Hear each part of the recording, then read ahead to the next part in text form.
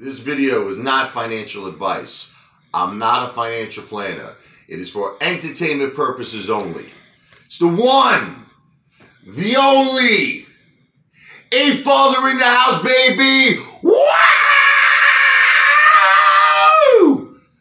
You guys gotta get mad, all right? Pre-market, baby. What do we go up to 63? Then the hedge fund started the attack. They started the attack. They brought us all the way down to the low 60, right? What was it like? Last time I checked, 60.30 uh, or something. Guys, we gotta get above 70. We gotta get above 70 to start the gamma squeeze. All right, this is an attack. They're fighting us. We gotta fight back. You see this shirt, baby? This is the Hulk. You gotta get angry. Ah! Ah!